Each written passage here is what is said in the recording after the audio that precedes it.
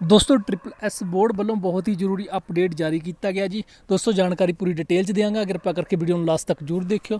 ਦੋਸਤੋ, ਜੇਕਰ ਤੁਸੀਂ ਮੇਰੇ ਚੈਨਲ ਤੇ ਪਹਿਲੀ ਵਾਰ ਵਿਜ਼ਿਟ ਕਰ ਰਹੇ ਹੋ, ਤਾਂ ਮੇਰੇ ਚੈਨਲ ਨੂੰ ਸਬਸਕ੍ਰਾਈਬ ਕਰਨ ਦੇ ਨਾਲ ਨਾਲ ਬੈਲ ਆਈਕਨ ਨੂੰ ਪ੍ਰੈਸ ਕਰਕੇ ਛੱਡ ਦਿਓ ਜੀ। ਦੋਸਤੋ, ਪੰਜਾਬ ਸਟੇਟ ਵਿੱਚ ਜਦੋਂ ਵੀ ਕੋਈ ਨਿੱਕੀ ਮੋਟੀ ਭਰਤੀ ਆਵੇ ਜਾਂ ਕੋਈ ਅਪਡੇਟ ਆਵੇ, ਉਹਦੀ ਜਾਣਕਾਰੀ ਸਭ ਤੋਂ ਪਹਿਲਾਂ ਤੁਹਾਨੂੰ ਮਿਲ ਸਕੇ। ਚਲੋ ਦੋਸਤੋ ਵੀਡੀਓ ਸ਼ੁਰੂ ਕਰਦੇ ਹਾਂ। ਦੋਸਤੋ ਵੀਡੀਓ ਚੰਗਾ ਲੱਗੇ ਲਾਈਕ ਸ਼ੇਅਰ ਜ਼ਰੂਰ ਕਰਿਓ ਜੀ। ਦੋਸਤੋ, ਅੱਜ ਦਾ ਨੋਟੀਫਿਕੇਸ਼ਨ ਜਾਰੀ ਕੀਤਾ ਗਿਆ ਜੀ। ਅਧੀਨ ਸੇਵਾ ਚੋਣ ਬੋਰਡ ਪੰਜਾਬ ਵੱਲੋਂ ਨੋਟੀਫਿਕੇਸ਼ਨ ਜਾਰੀ ਕਰਤਾ ਗਿਆ ਜੀ। ਅਧੀਨ ਸੇਵਾ ਚੋਣ ਬੋਰਡ ਪੰਜਾਬ ਵੱਲੋਂ ਇਸ਼ਤਿਹਾਰ ਨੰਬਰ 0/9 ਅਬਲਿਕ 2021 ਰਾਹੀਂ ਪ੍ਰਕਾਸ਼ਿਤ ਨੋਟੀਫਿਕੇਸ਼ਨ ਵਿੱਚ ਪੋਸਟਾਂ ਸੀ ਜੀ। ਬਲਾਕ ਪੱਧਰ ਪ੍ਰਸਾਰ ਅਫਸਰ, ਉੱਚ ਉਦਯੋਗਿਕ ਉਨਤੀ ਅਫਸਰ ਅਤੇ ਆਬਕਾਰੀ ਤੇ ਕਰ ਕਮਿਸ਼ਨ ਦੀਆਂ ਅਸਾਮੀਆਂ ਲਈ 3/10/2021 ਨੂੰ ਲਿਖਤੀ ਪ੍ਰੀਖਿਆ ਲਈ ਗਈ ਸੀ ਜੀ।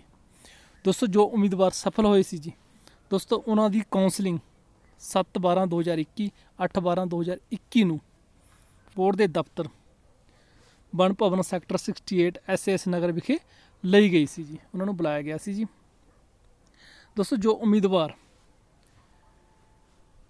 7/12/2021 8/12/2021 ਨੂੰ ਕਾਉਂਸਲਿੰਗ ਵਿੱਚ ਹਾਜ਼ਰ ਨਹੀਂ ਹੋ ਸਕੇ, ਉਹਨਾਂ ਨੂੰ ਇੱਕ ਮੌਕਾ ਹੋਰ ਦਿੱਤਾ ਜਾਂਦਾ ਜੀ। ਹੁਣ ਤੁਸੀਂ 14/12/2021 ਦੀ ਕਾਉਂਸਲਿੰਗ ਵਿੱਚ ਹਾਜ਼ਰ ਹੋ ਸਕਦੇ ਹੋ ਜੀ। ਆਪਣੇ ਓਰੀਜਨਲ ਡਾਕੂਮੈਂਟਸ ਲੈ ਕੇ। ਦੋਸਤੋ, ਇਹ ਸੀ ਛੋਟਾ ਜਿਹਾ ਅਪਡੇਟ ਉਮੀਦ ਕਰਦਾ ਮੇਰੇ ਦੁਆਰਾ ਦਿੱਤੀ ਜਾਣਕਾਰੀ ਤੁਹਾਨੂੰ ਚੰਗੀ ਲੱਗੀ ਹੋ ਵੀਡੀਓ ਦੇਖਣ ਲਈ ਤੁਹਾਡਾ ਬਹੁਤ ਬਹੁਤ ਧੰਨਵਾਦ।